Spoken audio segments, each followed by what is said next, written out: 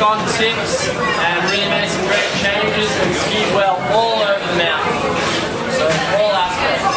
And so that person this week is Hamish. Hamish, well done.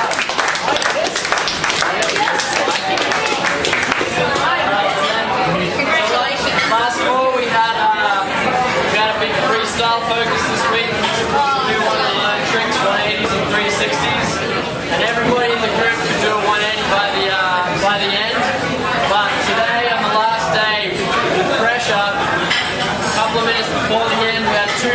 Will come very, just right, right in there. So Will got about 300 degrees, really smooth. But uh, I think our freestyle of the week is going to endure.